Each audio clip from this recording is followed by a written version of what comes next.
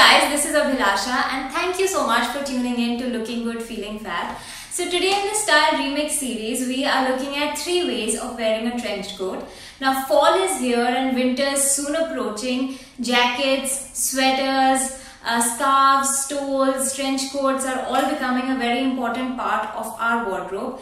And a trench coat is a beautiful and very versatile way of adding layers. Trench coat is a classic and it adds a certain degree of sophistication, class and you know old world charm to just about anything you wear. A light layer like this which adds a tiny bit of warmth and a ton of style is just perfect for us for the fall winter season. So let's go and see three ways of um, styling this uh, trench coat. There are plenty more, but here are just three.